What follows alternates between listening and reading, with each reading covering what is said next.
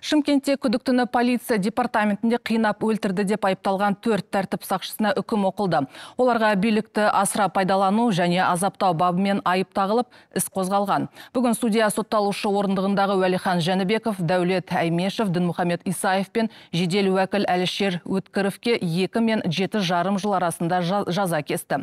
Жанында жедел уәкілі бар полковник пен екі подполковник қымбат көлік ұрлады деген қостанайлық екі күдіктіні 2021 жылдың желтоқсан айында полиция ғимаратына жеткізген.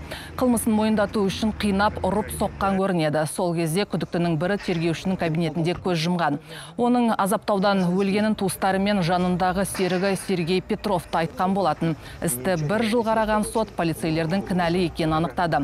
Жедел уәкіл Әлішер Өткіров қана азаптау бабымен сотталса, билігін асыра пайдалану және азаптау бабымен шатылған полковник Уәлихан Жәнібеков пен қос подполковник Дәулет Әймешев және Дінмұхамед Исаев шендерінен айырылды.